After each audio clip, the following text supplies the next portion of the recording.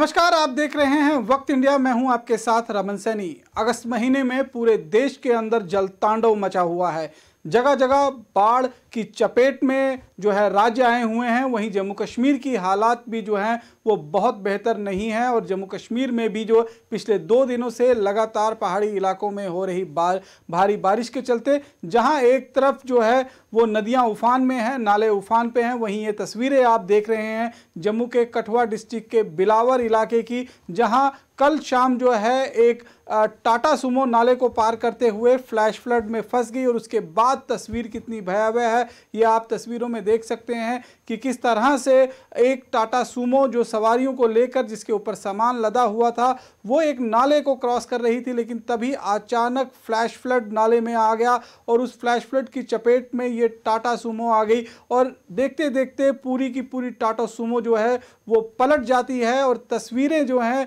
वो अपने आप में ये बता रही हैं कि हालात इस समय जम्मू कश्मीर में ख़राब मौसम और बारिश को लेकर किस तरह से बने हुए हैं और बामुश्किल जैसे ही इसमें लोगों की जान बच पाई है क्योंकि ये सवारियों को लेकर ये टाटा सुमो जो है एक नाले को पार करने की कोशिश कर रही थी कि जम्मू कश्मीर का टेरेन ऐसा है कई जगह पर आपको एक इलाके से दूसरे इलाके में जाने के लिए पानी का जो नाला पानी में पा, पानी का जो रास्ता होता है जिन्हें नाला कहा जाता है उन नालों को पार करना ज़रूरी होता है और ऐसे में ही जब ये कोशिश इस की तरफ़ से की जा रही थी, तभी जो है टाटा सुमो बुरी तरह से जो है चपेट में आ गई फ्लैश फ्लड के और उसके बाद आप देख सकते हैं कि किस तरह से लहरों की चपेट में टाटा सुमो आपको दिखाई दे रही है। और इसमें जो सवारी थे, जब पानी का जलस्तर वहाँ बढ़ना शुरू हुआ तो सवारी जो थे, वो तो निकल कर किनारे पहुँच गए, लेकिन टाटा सुमो को वापस लाने में असफल रहा ड्राइवर लिहाजा। गाड़ी को जलधारा में छोड़कर ही अपनी जान बचाते हुए वो किनारे पहुँचा और उसके बाद तस्वीरें किस तरह से एक भारी भरकम टाटा सूमो जो पानी की चपेट को, की मार को झेल नहीं पाई और पलट गई उस आ, उस उस नाले के अंदर और लगातार इस इलाके में जो ये जल स्तर है इस नाले का लगातार बढ़ता जा रहा था क्योंकि पीछे पिछले दो दिनों से जिस तरह से पहाड़ी इलाकों में लगातार भारी बारिश हो रही है उससे जम्मू कश्मीर के नदी नाले इस समय उफान पर हैं। लेकिन जब ये टाटा सूमो इस नाले को क्रॉस कर रही थी उस वक्त पानी का जो है स्तर कम था लेकिन अचानक जो है पानी का जल स्तर बढ़ना शुरू हुआ और उसमें आप देख सकते हैं कि किस तरह से ये बिलावर इलाके में जो है ये तस्वीरें आ रहे हैं और पूरे की पूरी टाटा सूमो जो है वो आ, वो वो यहाँ पर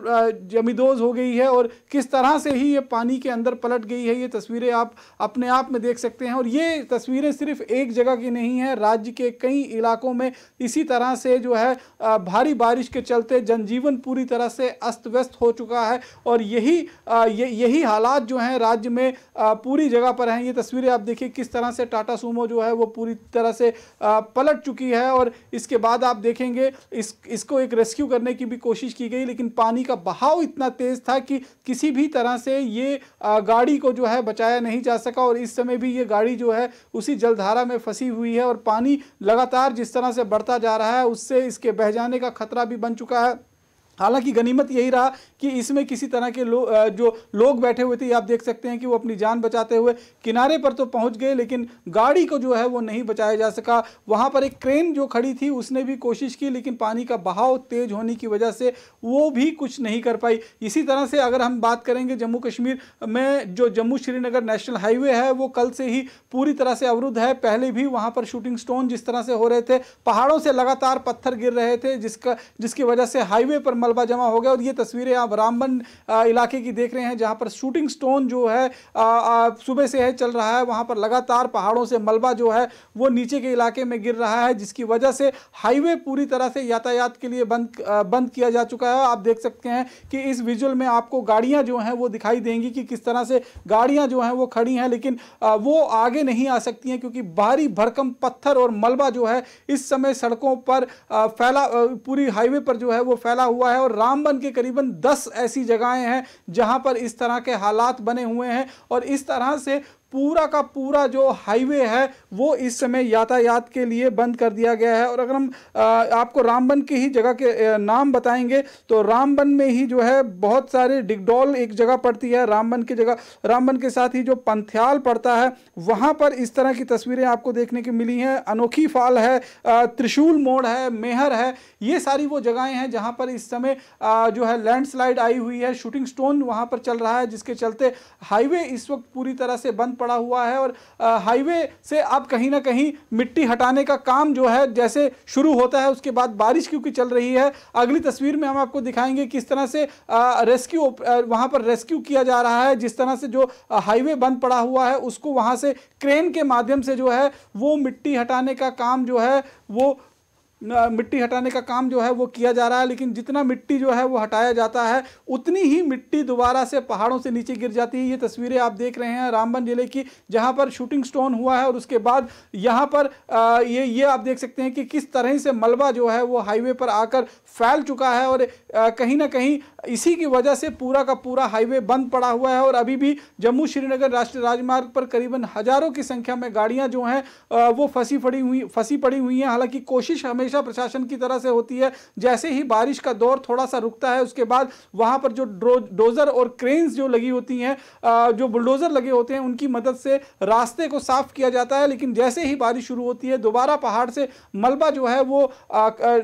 मलबा गिरता हुआ नीचे सड़क पे आ जाता है, क्योंकि इस समय उस इलाके के अंदर फोर लेनिंग का काम भी चल रहा है। लिहाजा कटिंग की गई है पहाड़ों की। पहाड़ों में पिछले दो दिनों से जिस तरह से बारिश हुई है, बारिश की वजह से पहाड़ों में नमी हो जाती है और पहाड़ पहाड़ का हिस्सा जो है वो खिसक कर सीधे तौर पर नीचे आ जाता है।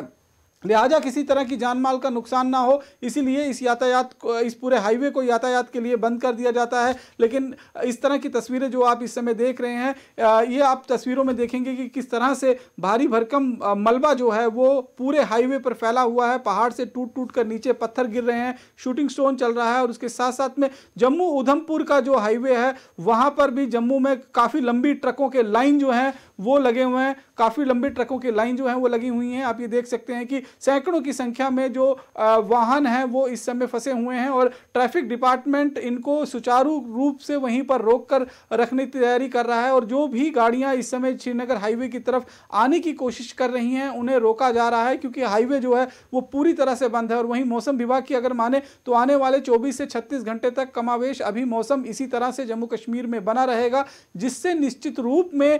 लोगों को कहीं ना कहीं खासी परेशानी का सामना करना पड़ सकता है। वैसे भी अगस्त का महीना है और मानसून इस समय अपने पूरे चरम पे है। हमने देश भर की तस्वीरें देखी कि देश भर में किस तरह से भारी बारिश के चलते सड़कों पे ही तालाब जैसा, नदी जैसा और नहर जैसा एक हालात बन चुके हैं। देश की राजधानी से लेकर मुंबई और जो बिहार का इलाका है, वो पूरी तरह से बाढ़ की चपेट में आता हुआ जो है, आप आप आप समझ सकते हैं कि कितनी बाढ़ वहाँ पर है और लोगों को कितनी परेशानी होगी। वहीं दूसरी तरफ़ अगर हम जम्मू कश्मीर की बात करेंगे तो जम्मू कश्मीर में भी हालात जो है, चाहे पुंछ का हो, चाहे रजौरी का हो, चाहे रामबन हो, बानिहाल हो या फिर कश्मीर घाटी के कई ऐसे इलाके हैं जो ले को जोड़ने वाले हाईवे हैं, वहाँ पर कई जगह लैंडस्लाइड हुए हैं, जिसके चलते अभी Jammu Srinagar high national highway को पूरी तरह से बंद कर दिया गया है। कई जगह टाटा सूमोज जो हैं, वो गाड़ियाँ जो हैं, वो नालों को पार करते हुए जो हैं, वो बुरी तरह से फंस गई हैं। कई जगह अगर आप देखेंगे तो इस समय अगर आप देखेंगे तस्वीरों में, ये आप देख सकते हैं, ये कठुआ के बिलावर की तस्वीर है,